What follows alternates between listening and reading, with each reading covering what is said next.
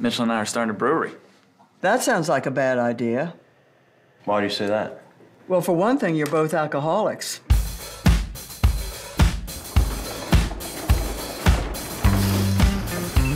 If you're gonna use the brewery to try and pick up girls, can you not lie about us having investors?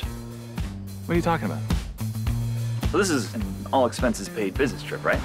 We're having a little tasting party tonight. Oh, my invitation must have gotten lost in the mail. I put an invite on Instagram. If he doesn't write us a check, we don't have a backup plan. That's the one that got away, man. Invite her. All you have to do is stand there, make conversation, and not spill your drink. You guys are lame. Kill for a beer right now.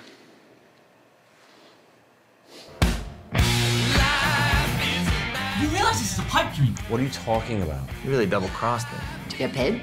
No, but I do get free beer, which is way better than money. Cheers. I like it. Do you want some more gin and tonic? I don't drink spirits.